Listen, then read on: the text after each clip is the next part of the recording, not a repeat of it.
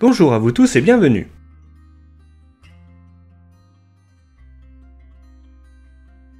Aujourd'hui, je vous emmène à la découverte d'Antilly.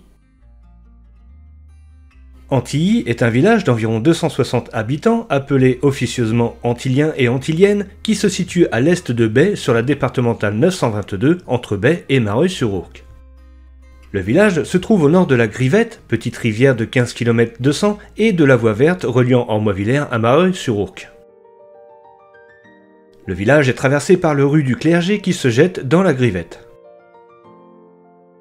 Ce village a eu les noms jadis de Anteliacum en 1157, Antiliacum, Antiliacum, Antilly, Antelli en 1208, Antilly en 1241, Antiliacum en 1359, pour devenir plus tard le Antilly d'aujourd'hui. La commune actuellement a un blason mais aimerait faire revivre le blason de la famille de Billy importante dans l'histoire du village. Antilly ne compte pas de hameaux mais trois écarts, le moulin de Tannay au sud-est, la ferme de la Clergie au nord et la râperie. La ferme de la Clergie était une des propriétés de l'abbaye de Collinance, hameau de Thury-en-Valois. Elle fut ensuite la propriété du sculpteur François-Frédéric Lemot, auteur de bas-reliefs au Palais du Louvre et à l'Assemblée nationale, ainsi que des monuments consacrés à Louis XV à Lyon et Henri IV à Paris. Puis la clergie fut la propriété de la famille Hamelin pendant plus d'un siècle. Des antiquités romaines, et notamment des vases de bronze, ont été retrouvés à la colline de la Chênée, vers Bay. La seigneurie relevait en plein fief du château de Crépy-en-Valois. Les comtes y avaient sans doute au XIIe siècle des droits directs car on apprend par un titre de 1184 qu'Éléonore, dame de Valois, donna permission au chapitre de saint Thomas de pêcher pendant deux jours dans les étangs d'Antilly. La seigneurie vint ensuite à la maison de Billy, l'une des plus anciennes de France par l'échange que fit le 8 octobre 1428 Jean IV de Billy, seigneur de Villers-les-Potets, contre le fief de Poitronville qu'il possédait au Bourget près de Paris. La famille de Billy, aussi appelée de Billy-sur-Ourcq, est une famille très ancienne. Les premiers du nom remontent au Xe siècle. En 1331, Philippe de Billy épouse Marguerite de Ivor. Ils sont la souche des Billy d'Ivor et d'Antilly un siècle plus tard. Ses descendants le conservèrent. Charles-Antoine de Billy, chevalier d'honneur au présidial de Crépy, était seigneur d'Antilly vers le milieu du XVIIIe siècle. Le château a été démoli en 1802, reconstruit par la suite et a appartenu à plusieurs propriétaires jusqu'à ce que M. Pierre Doé de Maindreville, ancien conseiller à la cour d'Amiens, en fasse l'acquisition aux enchères en 1831. La famille de Maindreville marqua profondément Antilly par sa longue présence. Pierre de Maindreville et l'un de ses descendants furent maire du village au XIXe siècle. Par la suite, le château eut encore d'autres propriétaires jusqu'en 1963 où il est acheté par le Civom du canton de Bay et devient l'actuelle maison de retraite d'Antilly aux environs de 1973.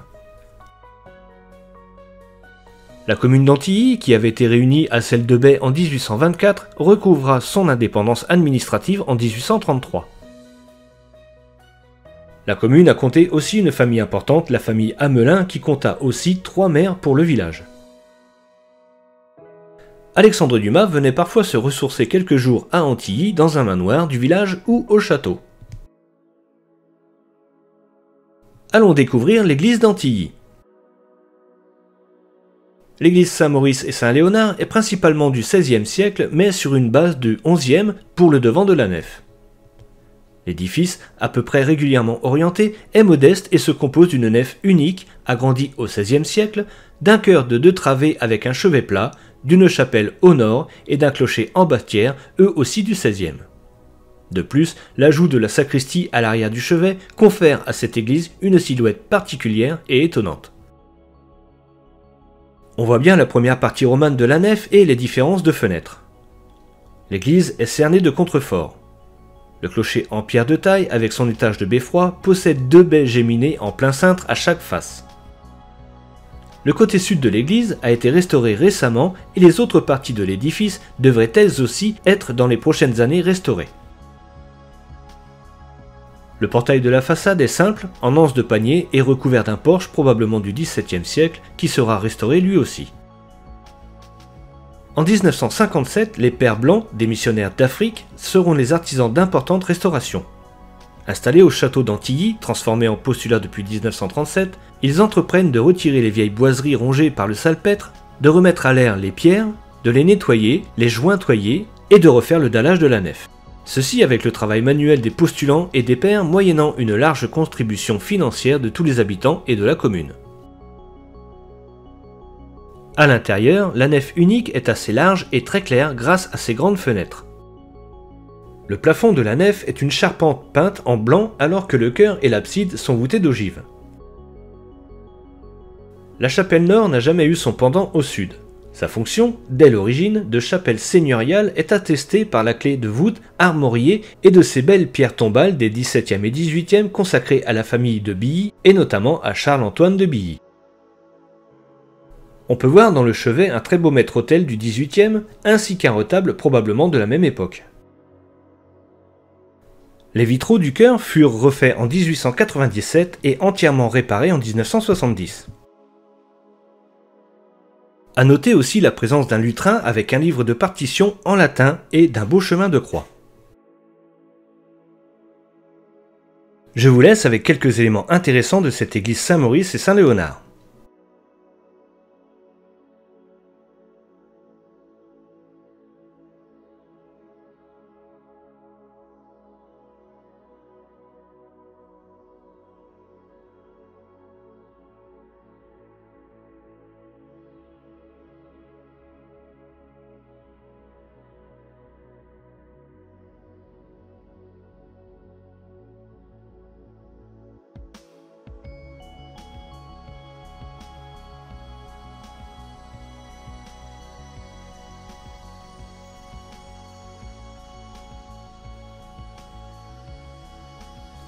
Retournons dans les rues d'Antilly.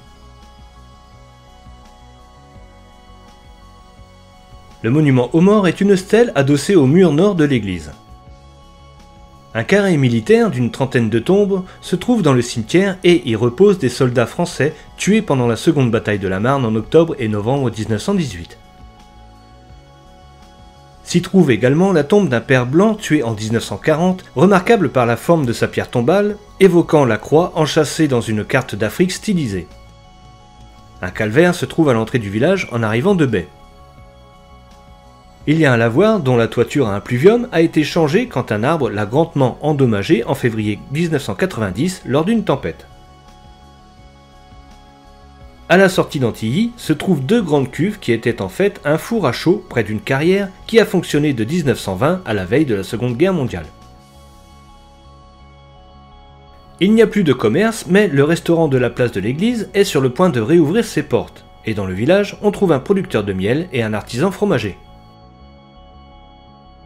Il y a aussi une entreprise de serrurerie et de logistique à la place de l'ancienne râperie, route de Thury en Valois. Il reste une ferme en activité, à la Clergie, qui propose également un très beau gîte, le Guet, dont je vous mets le lien en description. On peut aussi citer l'ancienne gare d'Antilly, probablement fermée dans les années 50-60, qui se trouve désormais sur le tracé de la voie verte du pays du Valois. Aujourd'hui, ce sont les écuries de la gare qui proposent des pensions pour chevaux. La gare d'Antilly se trouve sur le territoire de la commune d'Étavigny.